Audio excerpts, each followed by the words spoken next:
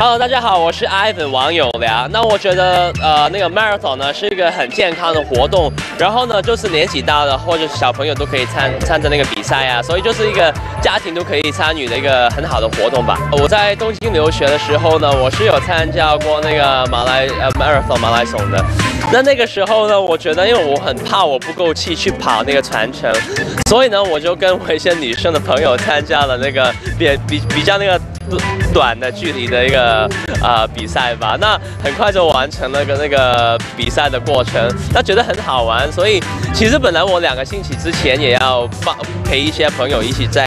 啊东京一个投资银行的活动里面去跑的，但是呢，因为我已经不在那个投资银行里面做事，我不在在那个金融圈里面，所以就不可以参加。如果是一般朋友去参加的话呢，有这个体育精啊精神是很重要的嘛，因为精神可以保。